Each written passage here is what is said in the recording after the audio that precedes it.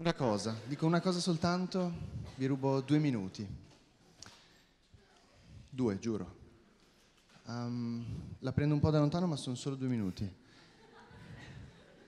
Vent'anni fa, Jonathan Franzen pubblica un articolo su Harper's intitolato Perché scrivere romanzi. E in questo saggio, abbastanza rassegnato, si chiede quale sia stato l'ultimo romanzo che ha avuto un impatto reale, forte, potente sulla cultura americana.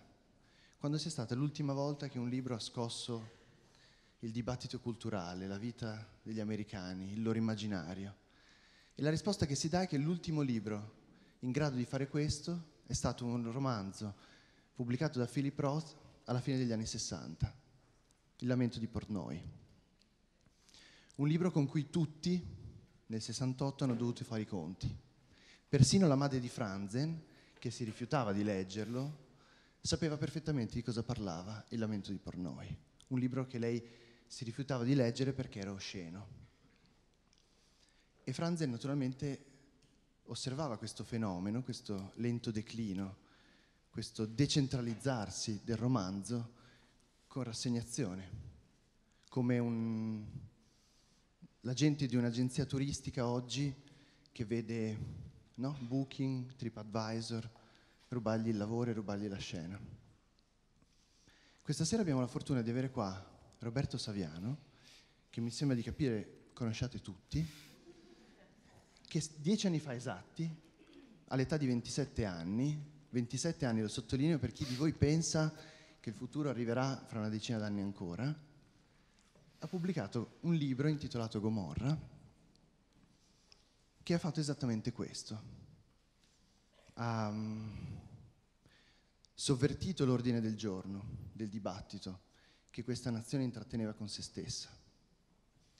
Ha introdotto una nuova cifra letteraria nella fiction e nella non fiction con cui tutti hanno dovuto fare i conti e ha fondato un universo narrativo che continua a vivere tutt'oggi una pièce teatrale, un film premiato a Cannes, una serie dal successo planetario.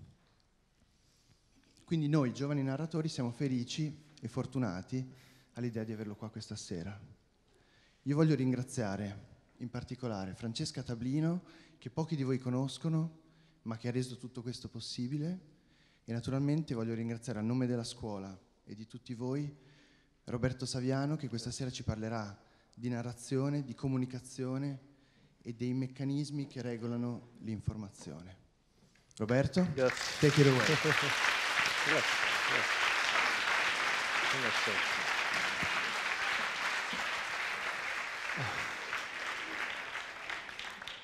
Parto seduto, ma...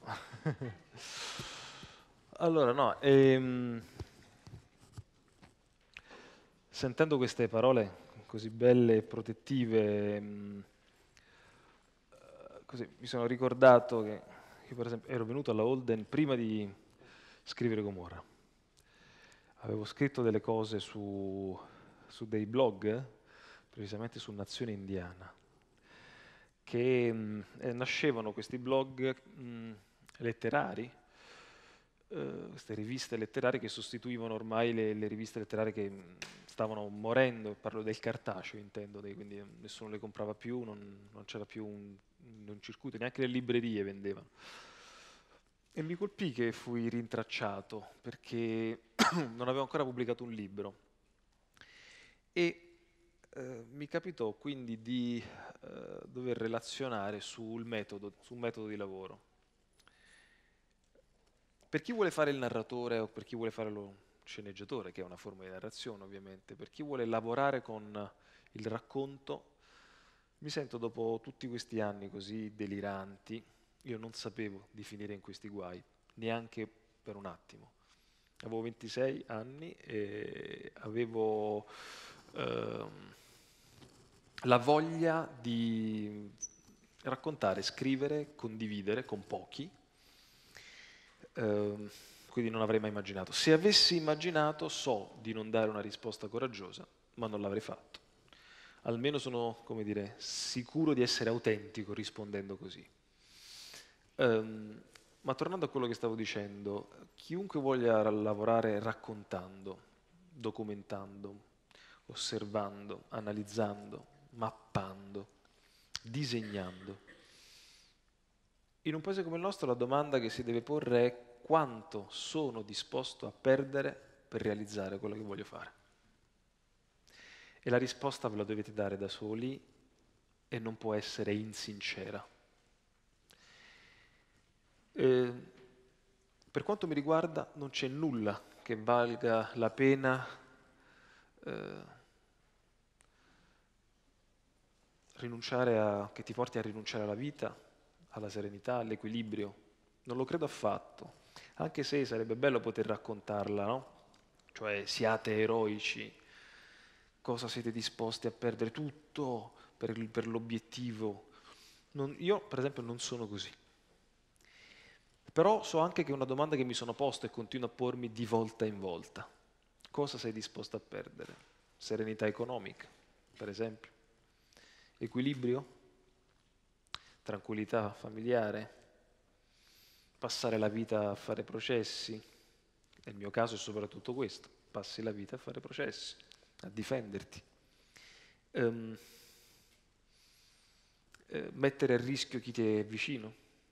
Mettere a rischio non significa che vi dovete occupare o che ci si occupi solo di oh, mafia o terrorismo per cui ti ammazzano i familiari o te, no. Mettere a rischio significa anche impegnarsi talmente tanto, talmente tanto, eh, perdere ogni forma di cura di ciò che ti è intorno per raggiungere un obiettivo, che chi ti è vicino paga un prezzo. Siete disposti a questo? Si è disposti a questo? Non lo so, non so neanche qual è la risposta giusta. Però so solo che a un certo punto della mia vita, per fare un libro e contro la mia volontà, mi sono trovato in un casino disastroso che il paese non conosceva, perché non è che c'erano stati scrittori nella mia situazione, tutti mi hanno sempre solo paragonato, è il mio odio, ah no,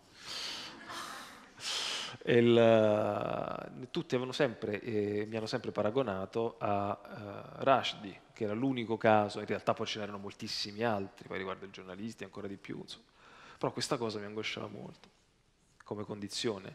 Perché mi angosciava? Perché era totalmente diverso, Rushdie aveva inciampato nella fatwa di Khomeini facendo un libro letterario um, che citava i versetti satanici, quindi i famosi versetti rimossi dal Corano, in due parole, Mohammed, per convincere una città a passare dalla sua parte, dichiara che Allah non è l'unico Dio, ma dichiara che gli dei di quella città sono ugualmente a livello di Allah. Lo fa furbescamente per ottenere il consenso di quella popolazione. Una volta che quella popolazione lo appoggia, lui distrugge diciamo, gli altri dei e mette soltanto Allah.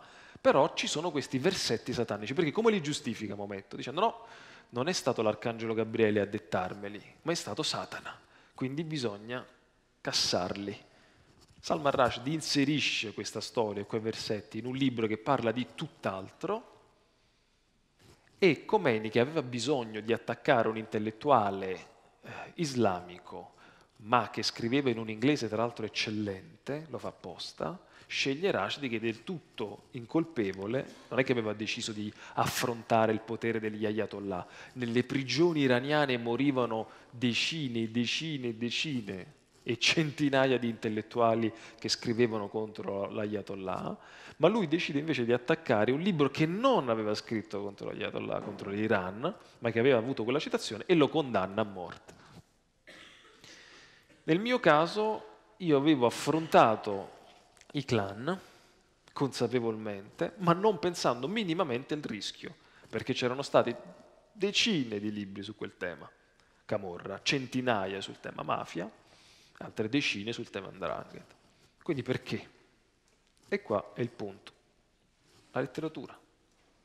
Cioè a un certo punto succede che quando tu decidi di scrivere una storia in un certo modo, è lì la pericolosità, il metodo quella storia smetteva di essere una storia di cronaca, smetteva di essere una storia di quartiere, smetteva di essere la storia di una regione, di una famiglia, di un crimine, boom, e diventava qualcos'altro. Quel qualcos'altro era dato dal metodo. dalla possibilità e dalla capacità di rendere universale, decrittabile, sentimentale, con le emozioni, no? una storia che sarebbe stata invece percepita soprattutto da qui. Io sono cresciuto sin da bambino immaginandomi eh, il Piemonte sempre lontanissimo. No? Pensate, i carabinieri del mio paese sono sempre stati chiamati i piemontesi. Sempre. E, ehm, e quindi no, in questa logica, eh, anche qui, anche in Francia, anche in America, queste storie sono diventate le loro storie. Un pentito, uno di, di, quelli che mi ha rovinato la vita, poi si è pentito un boss, si chiama Antonio Iovine, detto il ninno, il bambino durante un interrogatorio, lo trovate online, che è stato pubblicato ovunque, dichiara che Gomorra li aveva portati come clan in America. È un'immagine che mi ha molto colpito, che ci ha portati in America, cioè una cosa che nessuno per fortuna conosceva è arrivata. Eh, ma quella non sono stato io, per niente. Quello è il metodo, è lo strumento, no? è la letteratura, la pericolosità della letteratura. Dov'è la pericolosità? Da cittadinanza universale a qualcosa che non ha cittadinanza o ha una cittadinanza particolare marginale. La forza è tutta qua. Ora, in realtà il tema era sulla, esempio, sulla comunicazione, volevo parlare di comunicazione riguardo questo, cioè um, mi è capitato no, nel corso degli anni di uh, misurarmi con i social.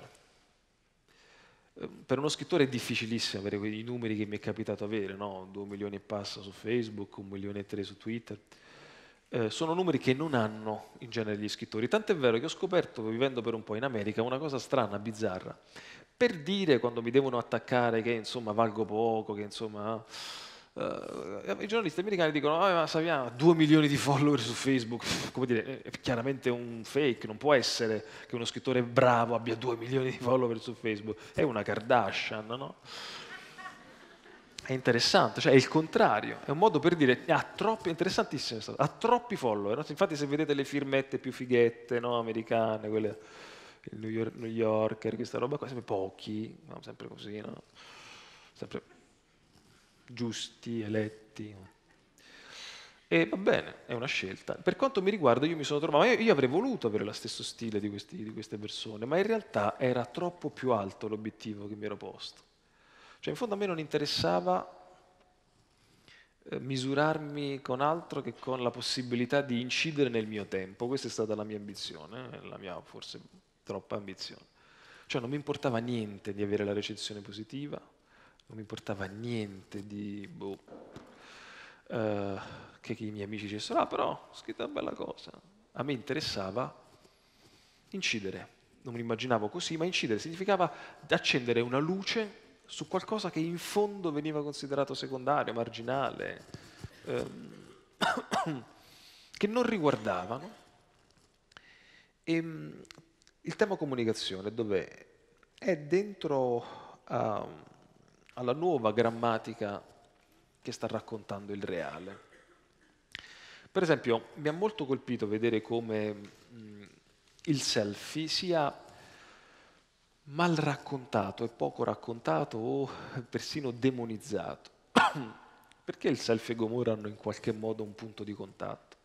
Perché io in Gomorra decido, e poi è il mio metodo che cerco di apprendere dagli autori del New Journalism americano, oggi odiatissimi in America, Truman Capote, considerato un cialtrone nelle accademie giornalistiche, Kapuscinski, considerato un fanfarone senza, senza, bibliografia, anche lui parla nel mondo anglosassone, noi non siamo così e secondo me dobbiamo difendere con le unghie e con i denti la nostra diversità, ma poi ci arrivo, uh, Gai Telese, um, ma anche Corrado Staiano, il Corrado Staiano di Africo, ma Danilo Dolci, uh, uh, Gio Marrazzo, l'autore del Camorrista, un libro fenomenale, sottovalutato tutt'oggi. Questi mi avevano dato il coraggio di poter raccontare la realtà con nome e cognome, ma mettendoci dentro me, il selfie. Cioè mettendosi dentro me e dietro o a fianco c'era la realtà. Al contrario di tutte le scuole giornalistiche che dicevano invece che mettendo te dentro stai modificando, manipolando, alterando il racconto.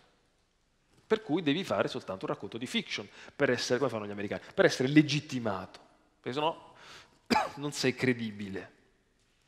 Io invece non mi fregava nulla della giusta distanza, volevo la giusta vicinanza, volevo stare attaccato alle cose, volevo vederle male, perché volevo vederle attraverso il mio filtro, ma non volevo rinunciarvi a battezzarle, a descriverle, a dare nome, cognome, a spiegare cosa è. E quello è un selfie. Perché il selfie, ovviamente è un, è un gioco provocatorio, ma proprio perché il selfie diventa così importante? Perché nella narrazione, un ragazzo di 14 anni oggi, una ragazza di 13, quando racconta ai suoi amici di essere stata a un museo o a una manifestazione, la prima cosa è davvero fammi vedere. E se fai vedere una foto di una manifestazione o di un museo, quella foto l'hai presa da internet, che c'entra? Non hai più nessuna unicità di quell'immagine che già la mia generazione aveva. No, facciamo la foto a Venezia, o la trovavi sulla cartolina, su una rivista, o era la tua foto. Adesso no, un secondo, un milione di foto di Venezia. Qual è la differenza? Che ci sei tu, la prova è la tua faccia quindi il meccanismo, spesso un po' idiota, di stare sempre a fotografare, in realtà dentro, giusto, sbagliato, poi ovviamente queste sono altre cose, a me sembra a volte molto ridicolo, a volte invece molto bello, non lo so, divertente, eh, stancante, tutti questi con le mazzarelle, però il, sì, in America è incredibile, il, però c'è dietro qualcosa e quel qualcosa mi interessa molto, cioè mi piace acchiapparlo, capirlo, pesarlo. E, ed è interessante no? capire come come i social eh, raccontino molto il nostro interno e lo raccontino, eh, secondo me, sventrandoci. Eh, esempio su tutti, ehm, l'informazione positiva non esiste. È una cosa con cui se, voi, se qualcuno di voi diventerà mai scrittore, regista, sceneggiatore o comunque politico, avrà una dimensione pubblica. La prima cosa che impara e mi dispiace, cioè dovremmo tutti vivere un po' di dimensione pubblica per capire molte cose. La prima è che quando hai una dimensione pubblica non frega niente una notizia positiva su di te. Faccio un esempio personale anche un po', come dire, narciso. A un certo punto succede che il Guardian mi arriva una notizia, Roberto, il Guardian ha fatto il tuo libro, che aveva fatto 000, ha fatto il tuo libro, il Guardian ha detto che è il libro dell'anno. Dentro di me il Guardian è un giornale che amo moltissimo, si è occupato anche dei miei temi in Sud America, quindi avevo una continuità proprio di anima e contentissimo. Faccio nulla, faccio il mio post, nessun giornale italiano lo riprende. Se l'ultimo dei blog dell'Alaska ti stronca, tutti i giornali lo riprendono. Perché? È ingiustizia contro di me? Ma certo che no. È l'informazione, bellezza. Non può viaggiare un vettore positivo su una figura positiva o percepita tale. Messi, paragoni a ignomi, insomma, non sono all'altezza. Comunque, Leo Messi fa notizia quando sbaglia il rigore, non quando lo segna. E quindi sappiate che chiunque di voi avrà un grammo di visibilità quella visibilità non verrà mai raccontata in una dinamica positiva. E mi fa molta tenerezza vedere la classe politica che pensa che si possa avere un racconto positivo di qualcosa. Non esiste più. Non esiste più.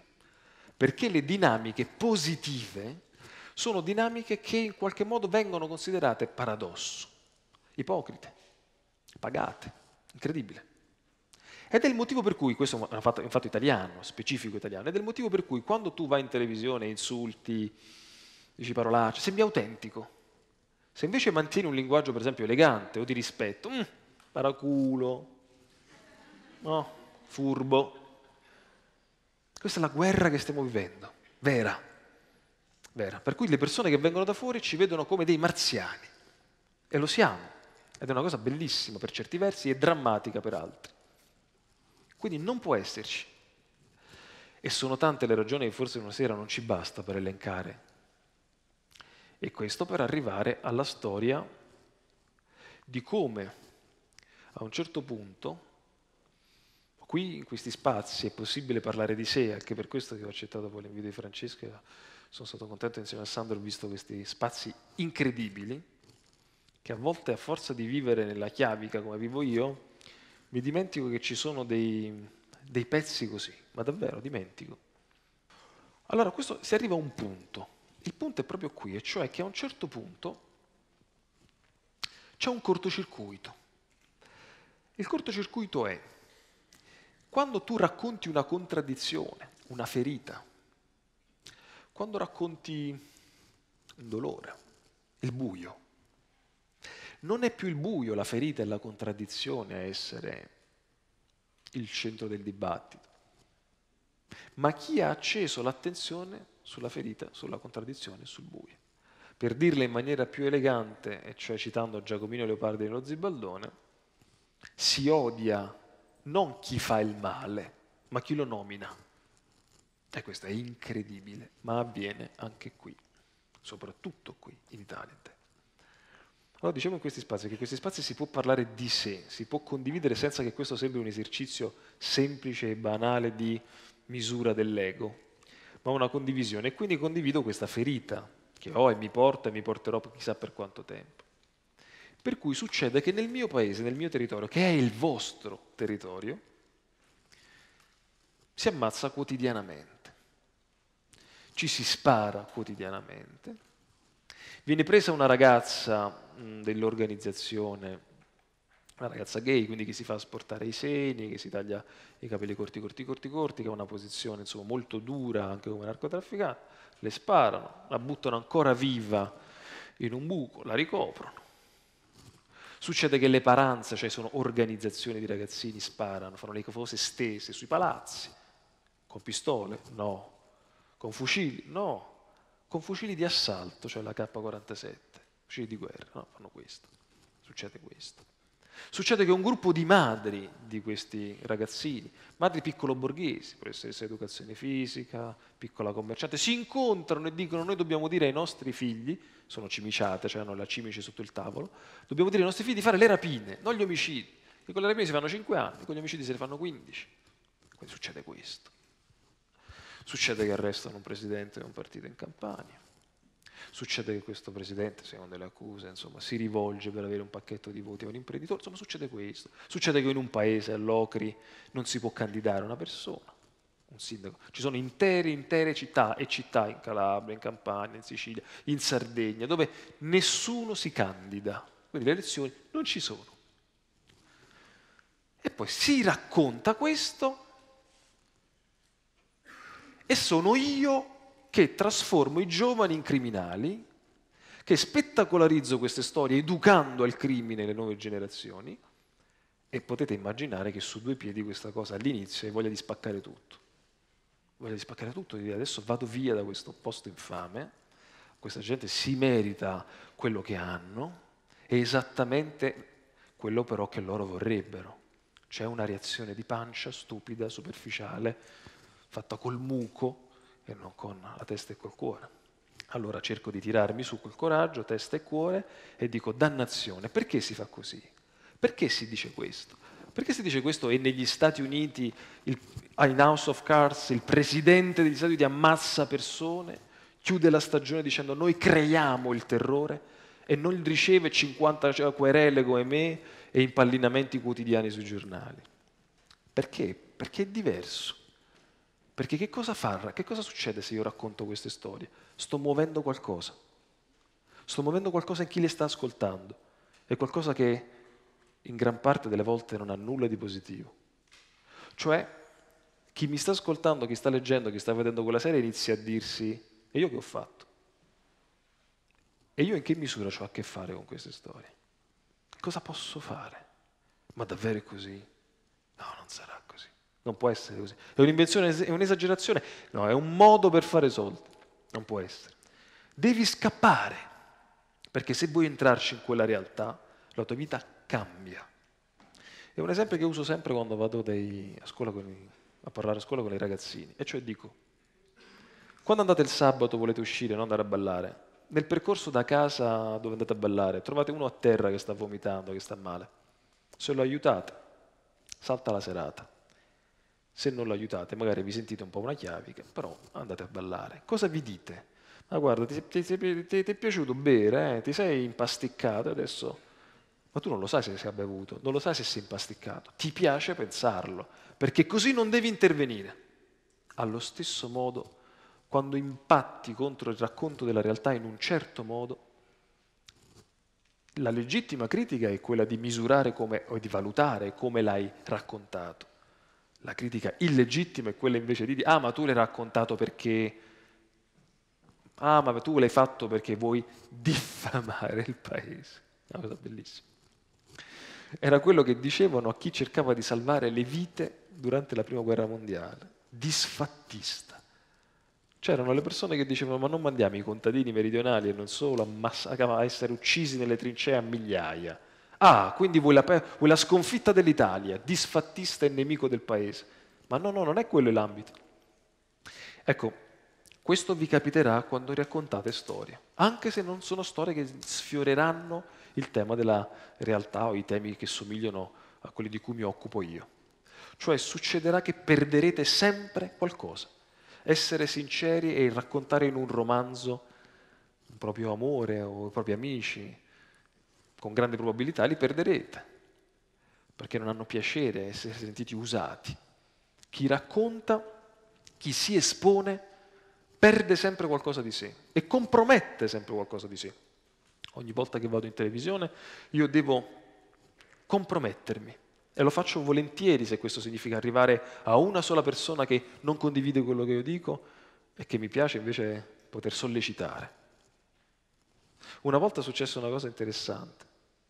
Mi capitò di andare a una trasmissione su Mediaset ad amici e portai Dostoevsky, Le notti bianche. Da allora è, le, è il libro economico più venduto di sempre, tascabile. Perché? Perché è andato in mano a barbieri, estetiste, parrucchieri, eh, operai edili, meccanici, autisti. Tutta quella parte di lavoratori che hanno poco tempo, che non hanno fatto molta scuola in molti casi e che quindi hanno una specie di fastidio a, a, a impegnare i propri soldi in libri e i propri tempi su delle pagine. Ma se in qualche modo incontri la loro vita e cerchi di dire io ho questo libro con questa storia, boom, bomba. Quelle pagine, di Dostoevsky, Le notti bianche, diventano un banco dove loro vogliono mettersi alla prova, capire se quella cosa può piacere e in molti casi hanno una sensibilità, ovviamente, adatta a capire. Quindi, tutto, quanto hai perso da intellettuale andando lì? Oh, quanti giorni di insulti, quanti pregiudizi, quanta distanza dalle persone legittime che ti vogliono bene e che pensano che una scelta del genere ti abbassi. Cosa a cui io non credo, ma è solo la mia posizione. Questo per tornare alla questione, alla solita domanda che, che io mi pongo e che volevo portare proprio qui, in questa scuola. Quanto siete disposti a perdere per quello che state facendo? E decidete della vostra vita su questo con onestà. In molti casi e forse vi sarà capitato, eh, si è coscienti di quello che si perde, il valore di quello che si ha, non di quello che si perde. Quindi spesso si è coscienti del valore di quello che si ha solo nel momento in cui si perde quella cosa. Questo succede con gli amori, questo succede con, quando muore una persona che si ama, questo succede quando si perde il proprio stile di vita, la propria tranquillità. Io pensavo di fare una vita tutto sommato noiosa e terribilmente regolare. Quando ho perso a 26 anni questa dannata vita, mi, mi sembrava bellissima. Ancora adesso dico, ah, bellissima, mia vita a 20 anni, la Vespa, tutto è diventato idealizzato. Perché? Perché quando l'ho persa ho capito il valore, quando l'avevo no.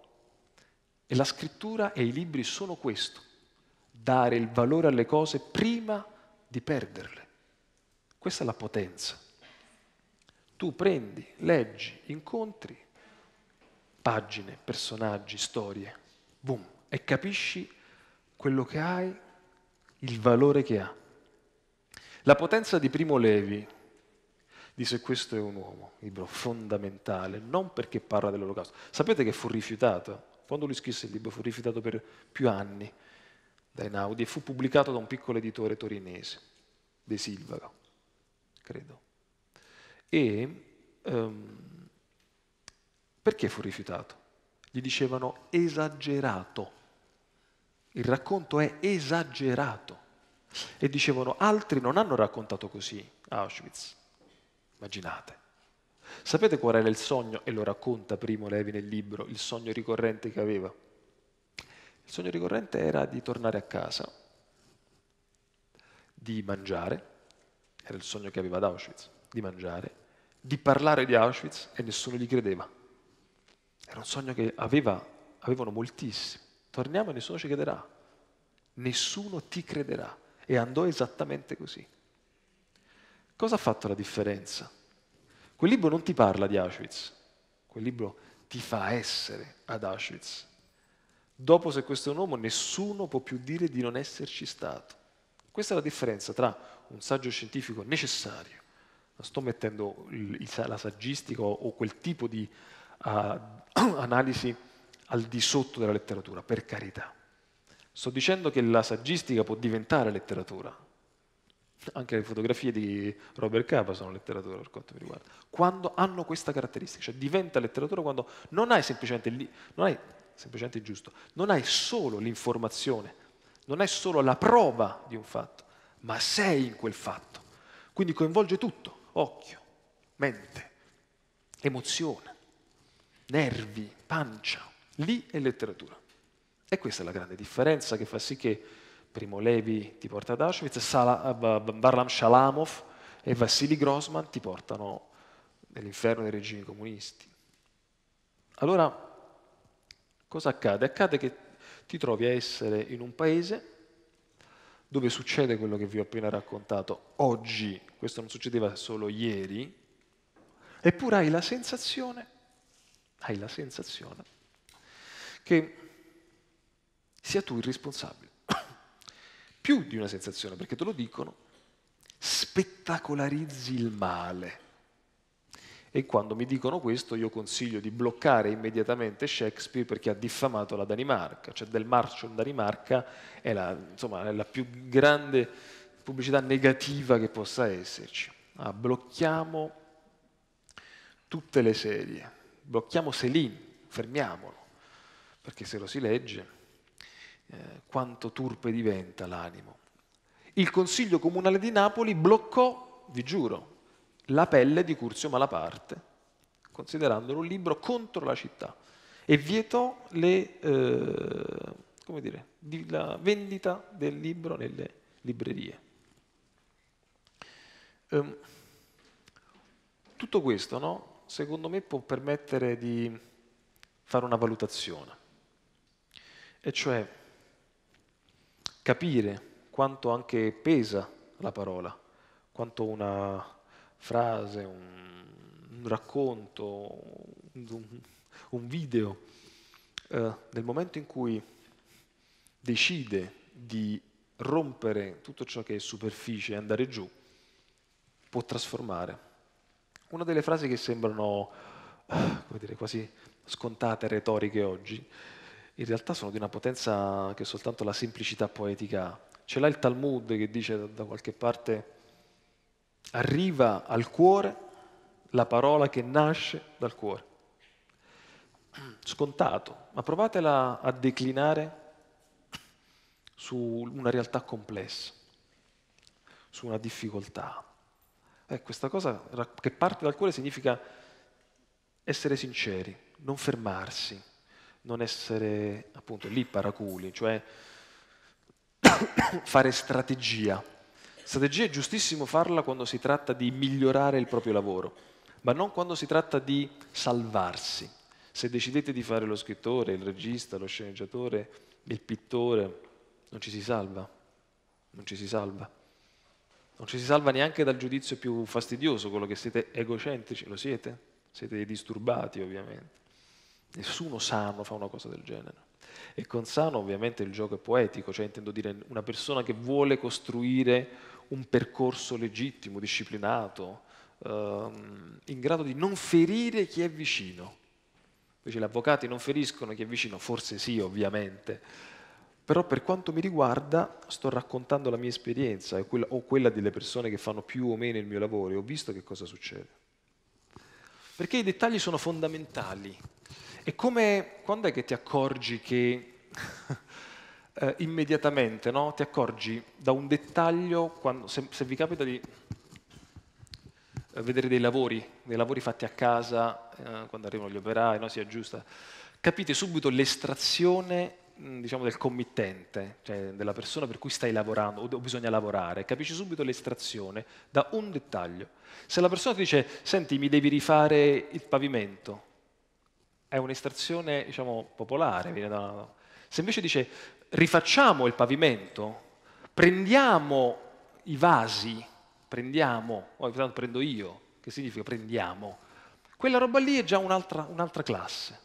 C'è un altro, è un altro pezzo di paese che parla così. Facciamo, cioè si include quando poi restano a guardare. Rifacciamo il pavimento, rifai il pavimento. Tutti questi dettagli li sto raccontando semplicemente perché nello stile, nel metodo, questa roba è molto più importante di qualsiasi altra per raccontare la realtà e per essere autentici. I dialetti, no? il linguaggio dei corpi, più della, questo è solo il mio punto di vista, ovviamente ce ne sono molti altri ugualmente legittimi, parlo solo della mia esperienza. Per quanto mi riguarda io ho sempre fatto così. Ho sempre fatto così. Il, il successo per me più grande appunto della serie ieri che mi è stato dato oggi è che durante le due ore di Gomorra la serie Pornhub ha perso il 16% di traffico. Incredibile. L'ha comunicato Pornhub. Una cosa, giuro, una cosa del genere, boom a me serve da narratore per raccontare molto di più che il commento, il post, la reazione. Perché? Guarda la realtà lateralmente, guardala lateralmente, guardala sotto, guardala inaspettatamente. Oppure puoi fare il futurista de Noartri, cioè provoca, mi piace meno. Ma guardala, guardala no, di lato, dove non te l'aspetti, trova nuove connessioni, dammi la possibilità di prenderti e accompagnarti. E, e così chiudo, um, cosa succede? Succede che a volte ci sono dei temi che vengono considerati sporchi, davvero. Quando io ho scritto questa cosa, mica mia mamma era contenta. Mia mamma diceva, ma come, ti sei laureato in filosofia, uh, studi Giordano Bruno e scrivi di queste schifezze. Era una roba, davvero, ma perché era una cosa legittima, cioè dici, ma, ma non è una roba, no? non è nobile, non è di qualità, non è una bella storia, sono robaccia. Tant'è vero che quando io ho iniziato a occuparmi di queste cose mi si diceva continuamente, mi si diceva continuamente, eh, se tu quando, quando, iniziavi a scrivere sui giornali, no? se continui a consegnare in ritardo ti sbatto a occuparti di Camorra. Era proprio la cosa tipica, che era una schifezza. A me non interessava, la verità che pur vivendo ossessionato come oggi, dominato da queste storie, dominato. A me non è mai interessato raccontare la camorra o la mafia o l'andrangheta, a me interessava raccontare il potere e queste storie che permettono di raccontare il potere come non mai, la dimensione umana, la crudeltà, la ferocia e cosa sono disposti a perdere per avere potere. Io questo ho imparato da loro. Un giorno vado a vedere una, uh, una sorta di documentario fatto interno però per l'arma dei carabinieri sul 41 bis, il carcere duro. Il resto sapevo, ho letto per anni, però non avevo visto la quotidianità. Cavolo, è un inferno il 41 bis, un inferno, dove mettono appunto i boss, soprattutto boss. E mi dico, ma come fanno a stare lì 10, 15 anni? silenzio tombale, eh, puoi incontrare i tuoi cari solo con un lastrone blindato, intercettata ogni parola, eh, ora d'aria da solo, al massimo con un'altra persona quando ti premiano, eh, televisione censurata, libri censurati, giornali censurati, tutto così. Risposta che mi ha dato una volta Giuseppe Pignatone che stimo molto. E te, Robè, attenzione, proprio tu, mi dici come mai. E io stavo lì ad arrovellarmi su quale strategia usassero psichica per reggere. Io, che mi addestro continuamente no, a reggere la, la, con disciplina la mia vita così, confesso che dopo 15 giorni di 41 bis dico cosa devo dire e firmo. E Pietro mi dice, Alberto, attenzione, i boss non ragionano riguardo al tempo come te, I boss ragionano per ere, ere, cioè la loro era muore qui, il loro tempo muore qui, ma l'era della loro famiglia vivrà nel nipote, che grazie al suo silenzio sarà un importante imprenditore, in questo caso cito Condello, eh, a Montreal o a Parma o qui. Cioè, l'idea è il silenzio del mio tempo porterà. È incredibile, no? Però ancora una volta guardi quel posto lì da sotto, dal lato, il potere e inizi, perché piacciono le serie crime, i libri crime, le storie nere? Perché? Perché guardi le contraddizioni della tua vita senza la, le mediazioni che ha la tua vita. Il tuo capo ti caccia e non ti spara in testa, ma la dinamica con cui ti ha cacciato il tuo rivale è molto simile a quella con cui i casalesi hanno ammazzato i, i secondiglianesi. E allora quando ti vedi quella storia, vedi la tua, ovviamente radicalizzata in una dimensione altra, ma proprio perché è radicalizzata è più chiara a vedere la dinamica, identica che ti è capitata. Dici, cavolo, vedo il mito, in qualche modo il nuovo mito, quindi quello che chiamano spettacolarizzazione. È in realtà semplicemente un racconto che diventa poi simbolo. Allora, perché tutto questo ti porta a perdere qualcosa? Perché tu se guardi l'abisso, citando il vecchio Nietzsche, prima o poi l'abisso guarda te e quindi perdi la fiducia. A me è assolutamente successo. Cioè posso, un po' fingo quando dico che ho speranza, queste cose, insomma, le devo dire perché, no, perché sennò ho, ho sempre purtroppo un'immagine che non mi piace avere, no, del depresso malinconico. Una volta mi capitò, vi giuro, un'intervista con un giornalista del paese, fu carino, un'ora e mezza di analisi del Sud America, dissi bravissimo, ha ascoltato tutto. Poi mi alzo, avevo delle grandi occhiaie, e mi dice ma come va Roberto? E si va, non dormo più. Ma perché? Bah, sai perché gli dico? Perché al processo per minacce dei boss Bidognetti 35 omicidi condannato, Iovine 60 omicidi, hanno condannato, quindi le minacce contro di me che sono state fatte pubbliche, una storia lunga, cioè lette durante un processo, il loro avvocato ha dichiarato, il loro avvocato, Santo Anastaso, ha dichiarato che quelle minacce le aveva fatte lui indipendentemente dai boss e che i boss che avevano firmato quel documento avevano firmato su un foglio bianco su cui lui poi aveva scritto la minaccia o la presunta minaccia. Quindi lo Stato assolve i due boss e condanna l'avvocato. Lo condanna con l'articolo 7, cioè aggravante mafiosa, condannandomi alla scorta a vita, tra l'altro. Quindi boss, eh, non mi sembrava possibile. Dicevo, ma non può essere vero tra l'altro eravamo io in aula, Manuela, la mia assistente che è anche qui, e loro erano pieni di familiari, cugine, zii, quanto. Noi soli. Il mio avvocato con lei piangeva. Eravamo in una situazione drammatica, che non ci potevamo credere, con i giornalisti inglesi che dicevano ma scusate, ma allora non sono boss, cioè se sono stati assolti non sono boss, Bidognetti che si alza e applaude. E allora io dico al, al, giornalista del paese, sono a pezzi, non riesco a dormire, c'è questa immagine avanti, eh però devi dormire, ma tu che fai per dormire? E io rispondo ingenuamente, questo vi servirà un giorno, ingenuamente rispondo, vabbè, come faccio? Il buffo di gocce e dormo, e eh, devo fare? Titolo del paese, non so se ve lo ricordate, Saviano usa psicofarmaci. Con, con, Gasparri che ogni tanto mi scriveva sotto i miei post attenzione esageri con le goccine grandissimo. E, e questa cosa, no? Quindi tutta l'ora e mezza sul Sud America svanisce di fronte alle goccine. Però a me per esempio sì ha dato fastidio perché, ma conosco le dinamiche, no? Però che cosa è? Sempre il discorso, cosa, cosa perdi? Perdi anche questo. Perdi che tu ti identifichi con l'oggetto che vuoi raccontare e non c'è nient'altro da fare. Se volete fare un lavoro vero, l'oggetto lo dovete spolpare, mangiare, ingoiare e quindi vi dovete, dovete diventare peggiori, peggiori. Questo è come dire, il metodo che ho usato. Io sono diventato un essere peggiore, cerco di essere, cerco di modificare, cerco di, di essere, come dire, di, di, di mantenermi, insomma è complicato, però diventi peggiore, cioè diffidente, terrorizzato dai comportamenti delle persone, perché ti confronti con il male, ti confronti con quello che non funziona. E tutto quello che, per esempio, quando sono entrato qui, è la prima cosa che ho pensato quando Sandro mi ha fatto vedere queste stanze, la prima cosa, cazzo che bello, Ma allora, cioè, com'è possibile che io non ho pensato, non gli ho mai proposto di fare una cosa qui? Ma? Perché non credevo potesse esistere? Ormai io vado talmente soltanto nei posti di monnezza che non ci penso proprio.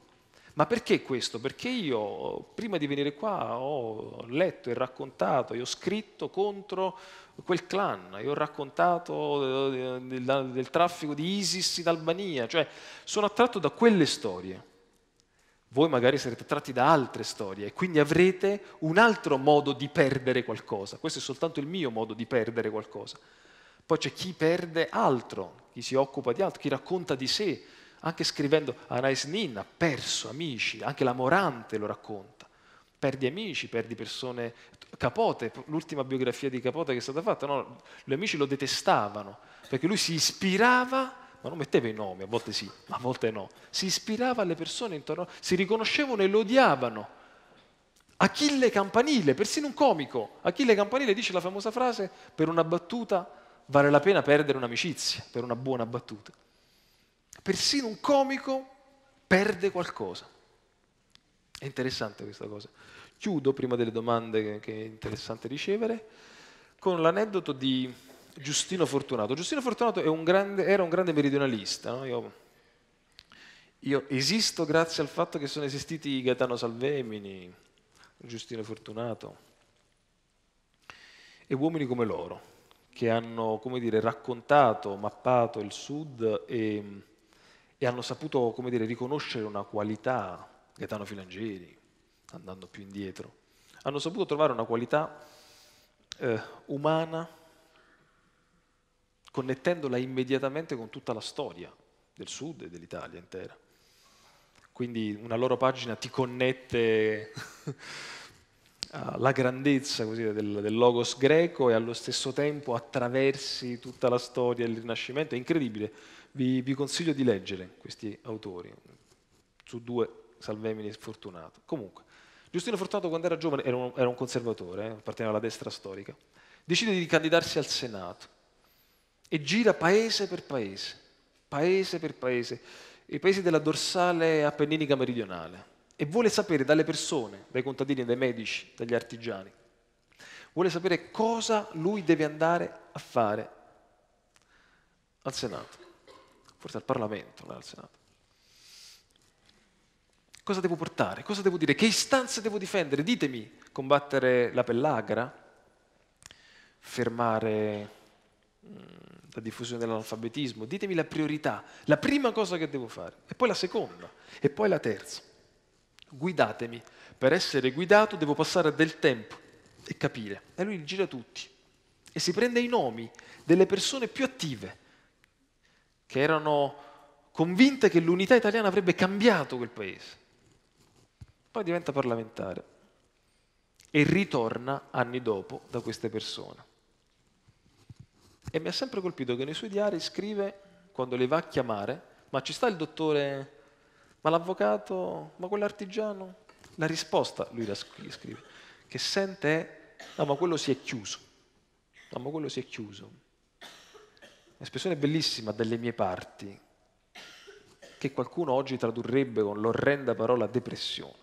Si è chiuso, cioè ha deciso di non soffrire più, di isolarsi e di bloccare quello che potrebbe essere l'assedio della realtà alla propria vita. E Fortunato scrive, il mio compito deve essere quello di far schiudere queste persone. Chiudersi significa proteggersi. E allora forse il compito che ha senso fare quando decidete di fare quello che state facendo, cioè di formarvi in quella direzione, è proprio questo. Cercare di difendervi dalla inevitabile voglia di chiusura e provare col vostro lavoro a far schiudere. Tutto qua.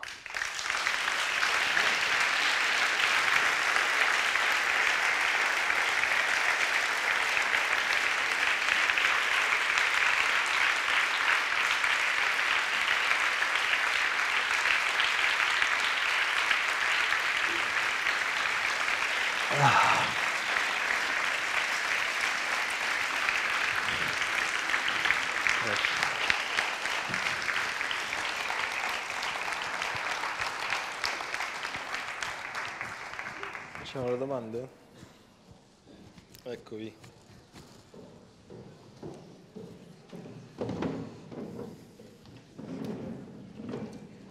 Comincio io.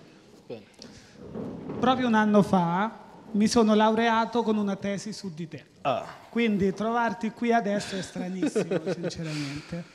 E Grazie. il succo di quella tesi era un po' di come Gomorra inventi un genere narrativo, perché prende delle cose reali, gli dà una forma di fiction, come ha fatto anche Truman Capote, ce l'hai detto tu stesso, però inserisce quello che tu hai chiamato l'effetto selfie, ossia te come protagonista, testimone, autore. Visto che tu hai fatto anche il giornalista per tantissimo tempo su Nazione Indiana, sul Corriere del Mezzogiorno, come è cominciato questo processo di trasformazione della tua voce da giornalista ad autore, scrittore? Ma sai, in fondo non ho mai scritto come giornalista, tant'è vero che i- i- la- le, le critiche che, che subivo sono le stesse che subisco ancora oggi, che mi piacciono molto, a dire la verità, cioè per gli scrittori sono un giornalista, per i giornalisti sono uno scrittore, quindi sono questo ruolo bastardo, mi piace, e, e ancora di più la cosa interessante è che quando per esempio un racconto ha successo, parola ingiusta, diciamo quando viene diffuso e, e viene molto condiviso, la prima cosa che viene detta è ah ma questa cosa l'ho già scritta io, ma questa cosa già è stata, beh, è ovvio, Paolo Di Laura è stato arrestato, è naturale che è già uscito da decine di, di parti, ma perché mi piace questa critica? Mi piace questa critica perché la letteratura è come se battezzasse di nuovo un fatto. Cioè, se io scrivo un articolo e parlo dell'arresto di El Chapo Guzman, è un articolo tra i 200. Se ci faccio un libro, la persona che ha già scritto dell'arresto del Chapo Guzman dice, ma questo l'ho scritto prima io. Eh beh certo, è un fatto di cronaca che io però ho fatto diventare letterario. È come se la letteratura rubasse in qualche modo no? e ribattezzasse la cosa. Io quindi ho deciso di raccontare in questo modo per, um, per mantenere dire, un metodo eh, giornalistico con eh, uno stile letterario e addirittura la possibilità di avere la verità della poesia, cioè una verità mm, quasi incomunicabile. Questo era il mio sogno. Non sempre ci sono riuscito, forse a volte l'ho sfiorato. Però devo dire che è sempre stato dominato dalla rabbia. Cioè io decido di scrivere all'indomani di una serie di cose che mi fanno impazzire di rabbia, cioè ammazzano Federico Del Prete, di cui peraltro io neanche parlo, che era un sindacalista delle mie zone, conoscevo, e mm, silenzio assoluto. Avevano poco prima dei, dei media, degli intellettuali, non sapevano niente. Ormai era una stagione morta, no?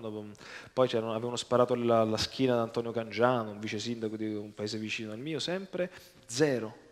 Poi c'era stata la morte di Don Peppe, che era stata anche quella, io ero più ragazzino, con 16 anni, cioè avevo una serie di cose che diciamo, com'è possibile?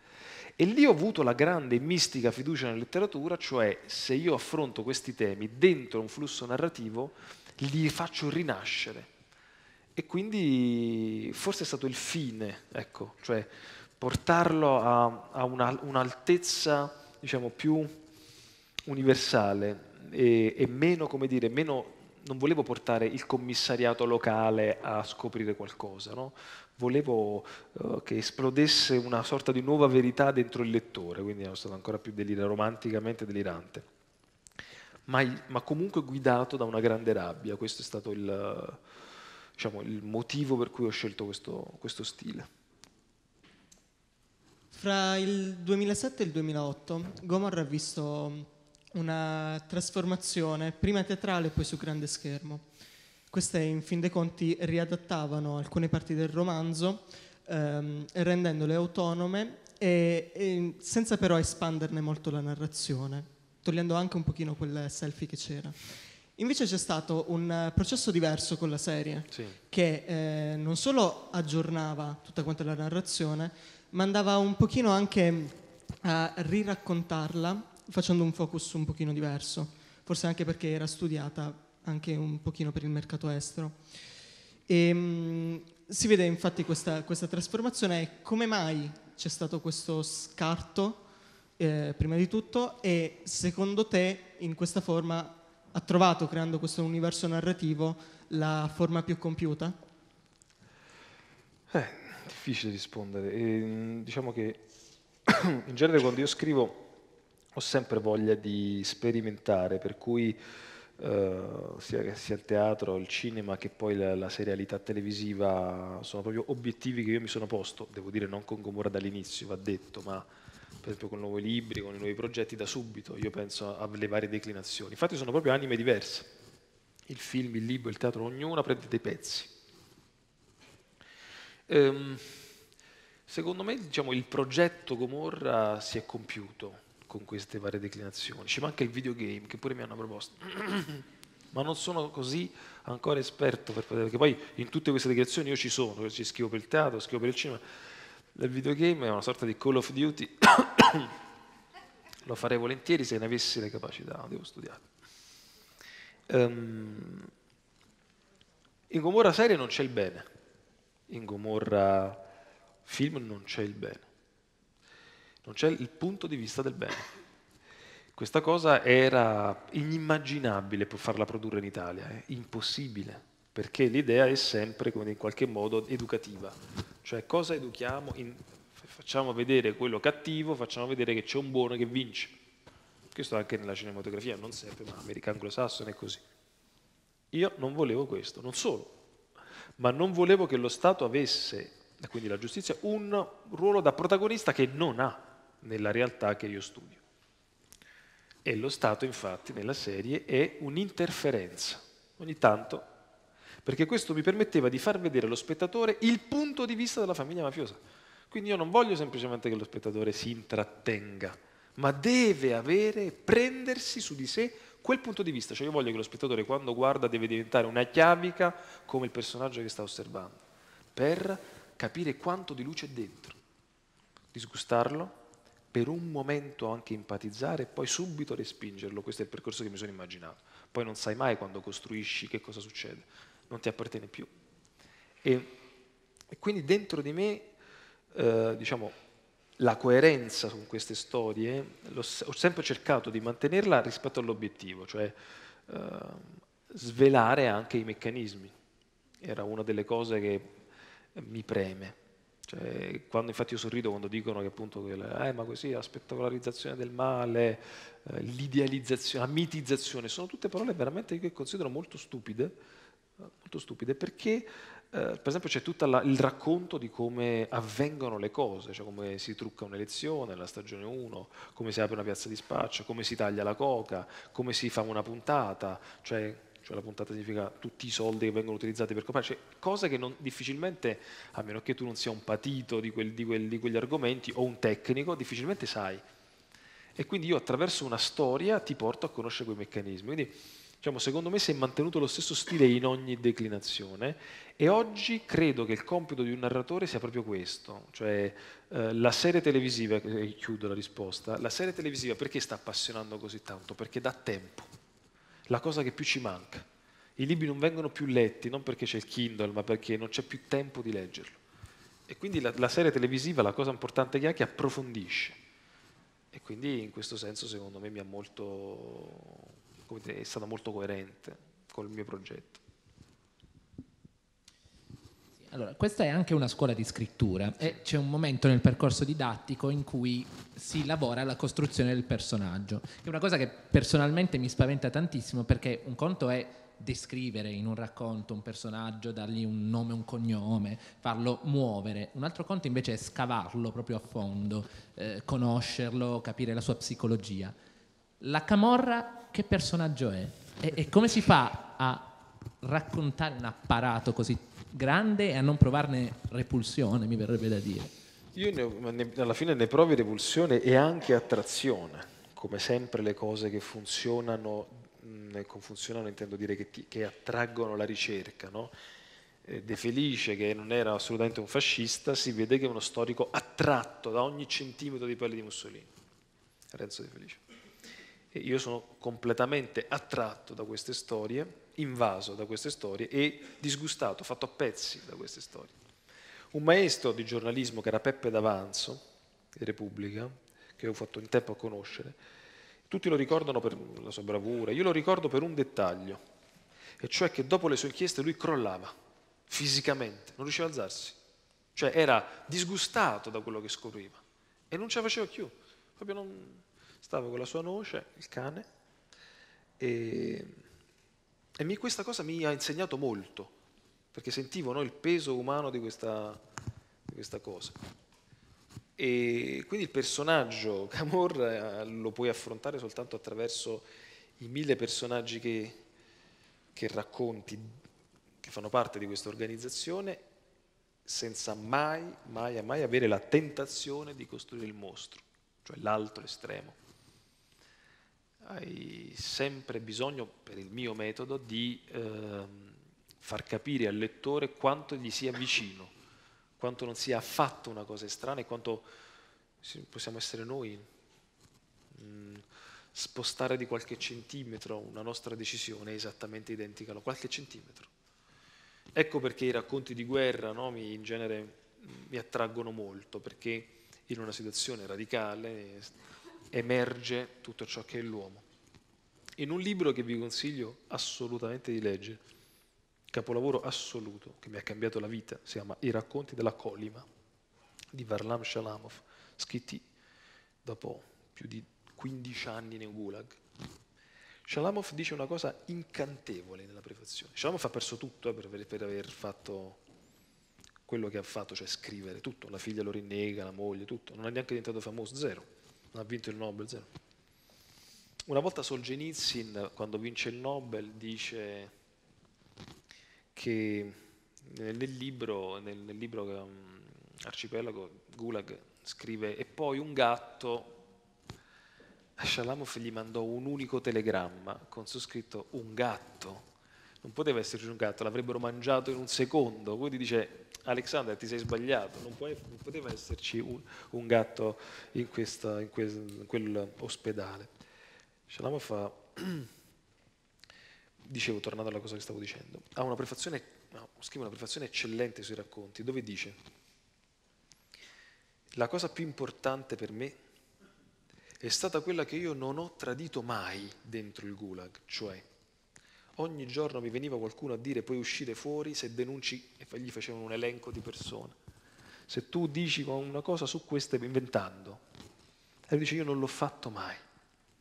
Qualcuno mi chiederà, ma questo libro è un libro che, dire, ti porta al disgusto dell'essere umano. E Shalamov dice no, questo libro è una vittoria dell'essere umano, perché se è stato scritto significa che anche in quella condizione dove l'uomo è stato ridotto a niente, anche in quella condizione è stato possibile difendere l'umanità. E quindi lui, sono tutti racconti uno peggio dell'altro, violentissimi, scritti con una potenza, potenza di, adesione alla realtà incredibile. E, e quindi, eh, come dire, alla fine questo è, cioè la possibilità di raccontare una storia e una realtà ehm, e sentirla tua e metterti dentro, non sentire che la stai denunciando, declamando. Eh, l'unico modo che ha, secondo me, il narratore per poter rendere legittima, comprensibile, eh, persino appassionante, è sventrarlo e entrarci dentro. Questo è il mio metodo, ovviamente, poi ce ne sono moltissimi altri parimenti legittimi. Quindi per dirti, per raccontarla, cosa devi fare? Guardare l'abisso e farti guardare dall'abisso. Io invece torno un po' indietro al tuo rapporto con i social. Eh, hai detto tu stesso hai un sacco di follower, Woods ti hai letto lo scrittore con più eh, amici su Facebook. Ehm, e tu sei attivissimo sui social e rivesti un sacco di ruoli, cioè, mh, commenti fatti di critica, eh, tieni il contatto con i lettori, eh, riesci anche ad essere un influencer, cioè orienti i gusti letterari, ci hai raccontato tu stesso un episodio, qui in questa scuola vieni citato come un caso di studio a riguardo, quindi... Ehm, ma quello che ti volevo chiedere è il Saviano scrittore eh, in cosa è diverso dal Saviano social? Ah, sì, ehm benché io cerchi di essere, come dire, con la stessa identità per poter essere diverso sui social rispetto ad altri personaggi, personaggi, infatti ho detto anzi personaggetti, dovrei dire come mi chiama De Luca, e, uh, la differenza è che il social ehm, deve avere un'immediatezza che il severo scrittore non ha. Cioè, il me narratore ha tempi diversi, il me sui social ha tempi sincopati, immediati. ehm, però sui social io sperimento di più. Il cazzeggio, il, ehm, il disimpegno, ogni tanto lo provo, no? Eh, creando spesso delusione. Perché è così che tu devi essere triste, devi stare male, devi, devi stare sempre a combattere, no? Cioè non, eh, io non dimenticherò mai una volta in cui sono, stavo salendo, non, non stavo ancora salendo, ero in una sala d'aspetto dell'aeroporto. Una signora mi si avvicina, dice ma tu qua stai? E non la riconosco, dico sì, perché? Ma come io prego per te perché ti immagini che stai chiuso dentro una stanza, invece puoi uscire, puoi uscire in ogni momento, no? Lei era delusissima, proprio delusissima, cioè, non... dice ma come? E questa cosa poi ci devi convivere per sempre. Il social in questo mi aiuta molto, mi aiuta a comunicare che io sono vivo e che non ho intenzione di crepare, ma, ma il- l'idea invece è, il- è quella di, che, questo devo dire che Salman Rushdie, su questo mi ha aiutato, eh. una volta veniamo Molto bella questa storia. Veniamo invitati all'Accademia Nobel qualche anno fa. Allora a lui arriva la busta dell'Accademia Nobel, quindi pensa, no, cioè, invece apre un invito semplice, che a me è lui. L'Accademia non l'ha mai fatto, non ha mai invitato scrittori a fare conferenze dal podio, dal, podio- dal podio del premio. E infatti quando ci vediamo lui mi dice, "Eh, ci hanno dato il Little Nobel. E... E comunque vado lì e fu bellissimo. Mi disse una cosa incredibile. Mi disse, "Ah, adesso sorridi, sei ancora giovane, ma tra qualche anno che sopravviverai ti diranno, ma allora sei un fake, ah, non ti hanno ucciso. Allora che... Lui dice, io, lui tutti i giorni gli dicono questo, ma come non doveva tutto il mondo musulmano tagliarti la testa? Sono vent'anni, ti sei sposata pure Miss Universo. E, e il- è incredibile, lui me lo disse e io ci ho riso, è andata esattamente così, aveva ragione. Dopo un po' la tua vita diventa quasi una prova che siccome non ti hanno ucciso, in fondo non sei così pericoloso e quindi le tue parole non sono così importanti. Incredibile, ma succede di vivere anche questo. E quel social mi aiuta, mi aiuta a ribadire che sono un essere umano complicato con tutte le sfumature possibili, mi aiuta a ricordare che voglio campare, non voglio morire, che non mi è mai interessato fare l'eroe, gli eroi sono morti, io sono vivo, quindi voglio sbagliare, fare casini, insomma, no? voglio non essere un simbolo. E, mm, e quindi diciamo, a volte mi aiuta rispetto alla scrittura. La scrittura è il mio piano, però, quello che poi eh, spendo meno, perché poi in dieci anni ho scritto no- non così tanto. E, mm, e che poi ogni volta diciamo, il senso di responsabilità sulle mie pagine è sempre enorme, sia perché ti denunciano tutti quelli che citi sistematicamente, Mm, tutti quelli che hanno toccato quell'argomento diranno che l'hai preso da loro e poi l'altra cosa che succede è che dici dopo questa cosa cosa mi succederà. Cioè tu immagina no, che tutto quello che tu stai scrivendo da domani ti crea casino. Ora tu immagina come cambierebbe il peso delle tue falangi, falangine e falangette sul computer. Ed era il momento più difficile del momento Berlusconi, quando con- proprio con Peppe D'Avanzo coniammo l'espressione macchina del fango. E cioè a un certo punto tu ti rendi conto, noi ci rendevamo conto in quel periodo, non che le cose siano cambiate, che tu scrivevi un pezzo e sapevi che il giorno dopo, qualunque cosa avessi fatto, qualunque, personalmente, privatamente, non reati, loro avrebbero cercato di farla uscire, qualunque cosa. Una casa presa in fitto, eh, il fidanzato nuovo di tua madre, qualsiasi cosa, solo per dare fastidio. Tu come scriveresti quell'articolo? Questa cosa la impari anche, no? E è quello che succede, no? A- persino a- adesso che succede in Medio Oriente, no? Ci sono dei, dei ragazzi che per- o in Messico, delle ragazze che per un mero tweet eh, vengono ammazzati, pagano un prezzo, insomma. Va bene. Abbiamo finito? No, c'è l'ultimo. lui. Perfetto, perfetto. Allora, dunque, noi ci siamo già incontrati nel, nel 2011 Ovvero? alla Feltrinelli, sì, a Bari, in occasione dell'uscita di Vieni via con me. E in quella Ah, sede io te. ti ho dato un foglio bianco con una poesia sopra di Baudelaire, L'uomo e il mare, Sì. che comincia con un verso, cito, Uomo libero, tu amerai sempre il mare. Due anni prima a Polignano, ci siamo rivisti. Quindi, due anni dopo? Due anni prima, perché eh, dopo, dopo Gomorra, dopo insomma ah, la due anni prima di... Ah, sì. sì, vado a scalare. E quindi è da me che ti devi guardare. e, um, praticamente Polignano c'è un, c'è un, signore che tutte le notti esce e scrive sui muri di, di, Polignano, del centro storico, frasi di poesie. E la sua poesia più famosa, perché questa è proprio sua autografa, dice più o meno: Qui il mio gemello mare ha ingigantito la mia libertà. Bello. Quindi, che valore ha per te la libertà oggi, come uomo del sud e come conoscitore del mare? Come uomo di mare. Sì, sono nato a Napoli, quindi c'è, c'è un verso di Pio Daniele, non so se ve lo ricordate, sono nato a Napoli, perciò mi piace il mare, che mi ha sempre colpito.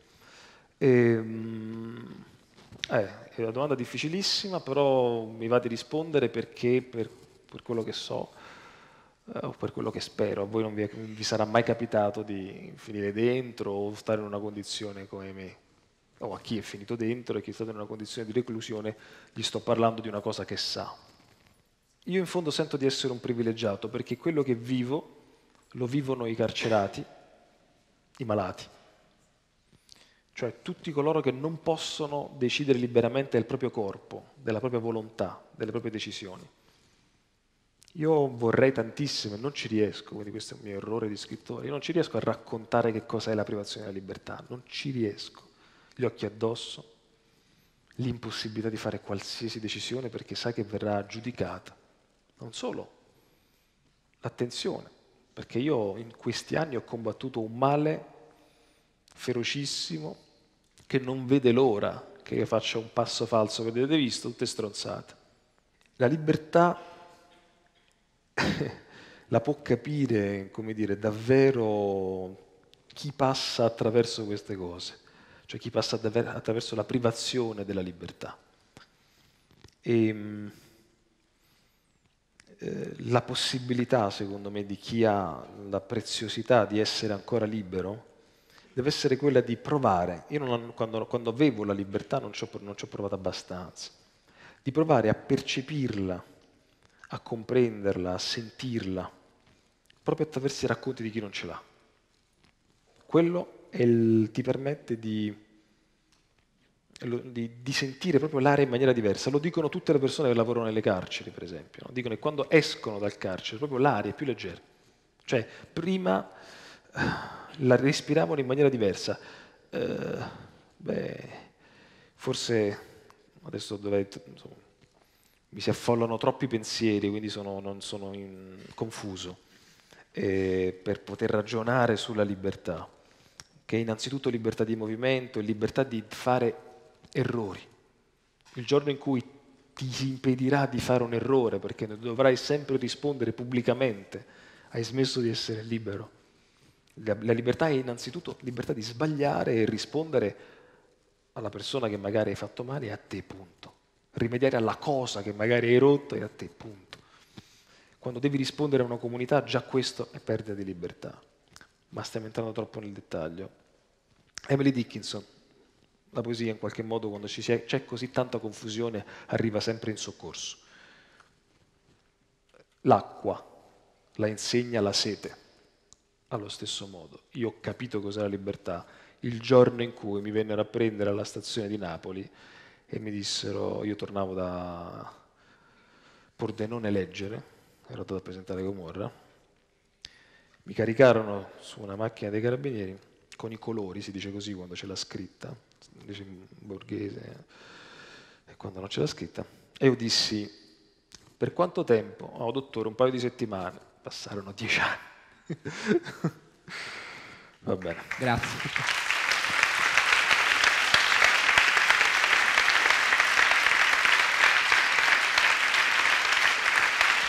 Grazie, grazie, grazie. Grazie Roberto.